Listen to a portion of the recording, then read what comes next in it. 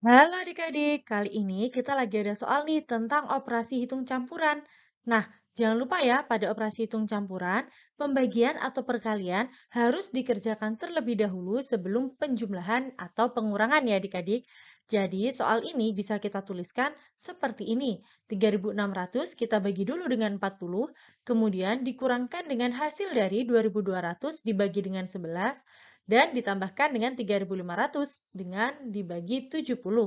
Nah, adik-adik, yang pertama kita kerjakan dulu yuk 3.600 dibagi dengan 40. Caranya mudah saja ya adik-adik. Kita cek banyaknya angka 0 pada pembagi. Ternyata ada satu angka 0 ya, yaitu 40. Nolnya ada satu nih.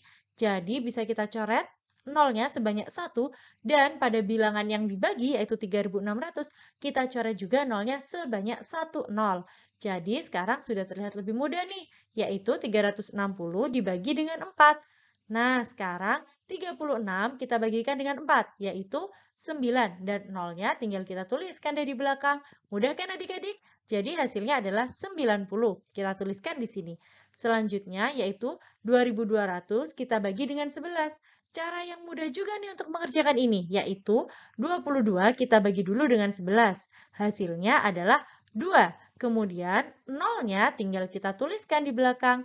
Jadilah hasilnya adalah 200. Kita tuliskan di sini ya adik-adik. Nah, seperti ini. Selanjutnya yang terakhir adalah 3.500 dibagi dengan 70.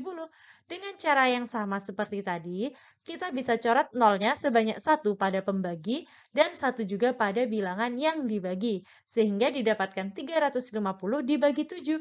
Nah, sekarang kita bagi 35 dengan 7, yaitu 5. Dan nolnya tinggal kita tuliskan di belakang.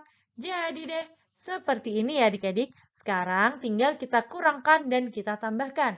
Nah, untuk 90 dikurang 200, kata kuncinya adalah tanda positif atau negatif mengikuti tanda dari angka yang besar.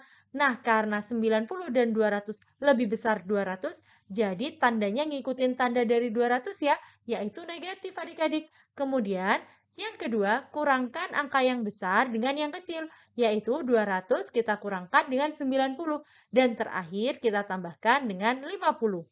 Hasilnya adalah negatif 110 ditambah dengan 50.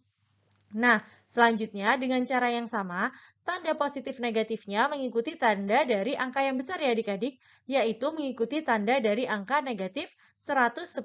Jadi, kita tuliskan negatif Kemudian 110 kita kurangkan dengan 50, yaitu angka yang besar kita kurangkan dengan yang kecil. Sehingga didapatkan 110 dikurang 50 adalah 60, maka hasilnya adalah negatif 60.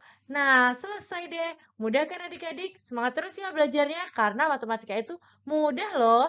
Sampai jumpa di video selanjutnya.